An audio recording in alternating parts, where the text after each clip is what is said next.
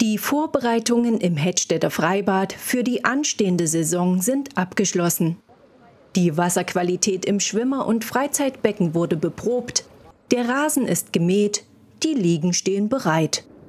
Die Volleyballfelder sind präpariert, die Spielgeräte kontrolliert und auch im Kleinkindbereich läuft bereits das Wasser.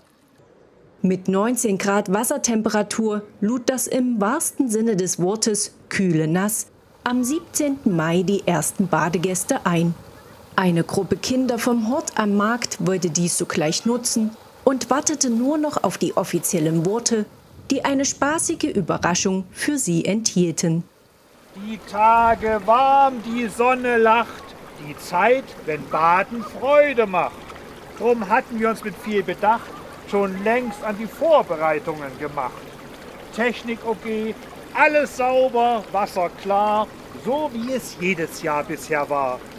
Wasser in das Becken ist hineingeflossen. Der letzte Eimer wird jetzt ausgegossen. Die Vorbereitungen sind jetzt vollbracht. Darum werden heute die Türen aufgemacht. Wir wünschen Freude, eine gute Zeit. Keine Sorge, die DRG ist auch bereit. Doch bevor jetzt hier planschen die großen und die kleinen Geister, baden geht zuerst. Oh!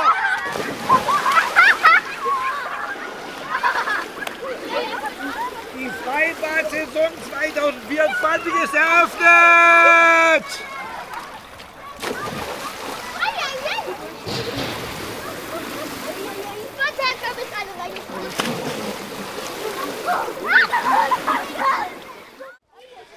Wir laden alle Bürgerinnen und Bürger ein, natürlich auch alle Gäste der Stadt, unser Freibad zu besuchen. Die Öffnungszeiten außerhalb der Ferien von 11 bis 19 Uhr, innerhalb der Ferien von 10 bis 19 Uhr. Unsere Badesaison, die geht bis zum 31. August. Dann wird die Kloanlage abgestellt und den Abschluss in diesem Jahr macht wieder der beliebte Hundebadetag. Ich trüpfe noch ein bisschen vor mich hin und der ist am 14. September. In diesem Sinne, allen eine tolle Badesaison.